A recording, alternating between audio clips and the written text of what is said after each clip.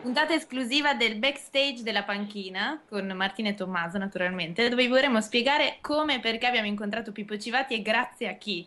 Perché quelle due persone che vedete lì sono due rappresentanti di Progre, questa associazione studentesca, o forse no, adesso ce lo spiegheranno. Però prima di tutto io vorrei che dichiarassero in Mondovisione che loro erano quelli che andavano in giro per Bologna a correggere i manifesti della Lega Nord, o sbaglio?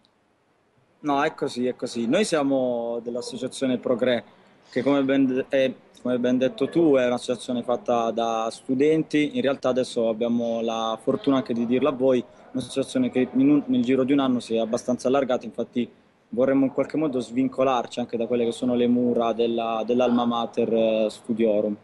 Eh, perché il Promigre? Il Promigre perché sentivamo l'esigenza di provare in, prima di tutto a condividere anche con gli altri quelli, quello che è il nostro lavoro e soprattutto per eh, iniziare anche a provare a eh, ragionare in modo differente. Martina ha detto una cosa giustissima, cioè l'idea, possiamo dire, un ringraziamento anche della, del perché stiamo facendo il Promigre va secondo noi, questa cosa, io questa cosa tengo tantissimo, va alla Lega Nord, perché del, cioè, se siamo qui oggi a parlare anche di immigrazione grazie alla Lega vi spiego il perché, perché l'anno scorso in campagna elettorale, l'hai già detto in realtà un po' tu, la Lega Nord ha tappezzato Bologna di manifesti con una scritta enorme in cui c'era scritto indovina chi viene per ultimo, questa era la domanda, e c'era un'immagine con delle persone tutte straniere in fila e per ultimo c'era un italiano. Quindi si chiedeva, cioè, ai servizi, riguardo ai servizi alla casa, alla sanità, al lavoro, a venire per ultimi sono sempre gli italiani.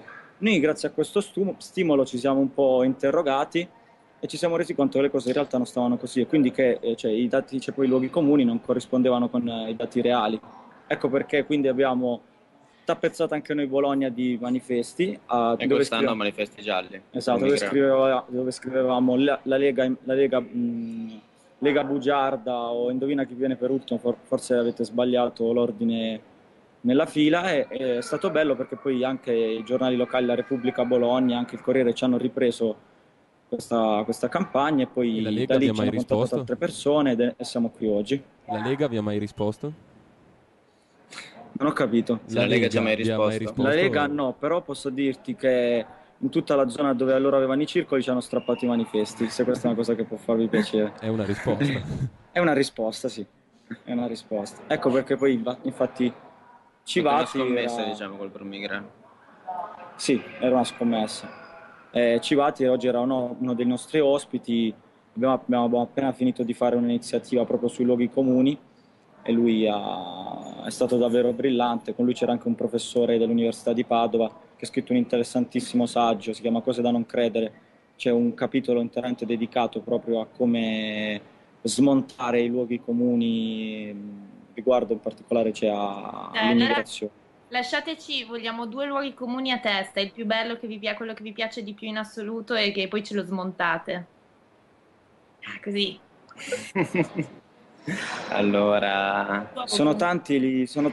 gli immigrati sono tantissimi. Io questo ci trovo tantissimo, tipo, perché è quello secondo me poi da, cui, da dove si parte sostanzialmente. Cioè, l'ho scritto anche nella, nella, nell'intervista che tu mi hai dato, quando tutti dicono ma siamo invasi da immigrati cioè in realtà non è così, perché gli immigrati, cioè su una percentuale, sono il 7,5% della popolazione totale. E in realtà però, secondo degli studi che sono stati fatti da un ente europeo, in realtà eh, la gente, non so, la percezione è come se ce ne, siano, cioè, come se ce ne sia il quadruplo, eh, perché probabilmente, non so, per i fatti di cronaca, per come anche giocano gli stessi mass media o eh, i partiti politici, ma in realtà le cose non stanno così. Bene, bene. E tu invece? Un altro sulla casa. Vai, ma scusa. Io dalla mia esperienza eh, si dice che tutti i marocchini siano spacciatori, ma non è vero, perché un mio amico marocchino mm. si rifornisce da un italiano. e lo posso dire. Anche sulle carte. Sulle Benissimo. carte. sì. Allora, per, diciamo, vi, vi, possono seguire dove su www, com'è il sito? Progre.it www.progre.eu Ah, EU. Cioè, cerchiamo okay. di darci un tono anche europeo in perfetto, prospettiva futura, perfetto. naturalmente. Benissimo, grazie mille. Grazie a voi grazie e vi vogliamo bene perché ci seguite sempre. Grazie. Siamo vostri fan.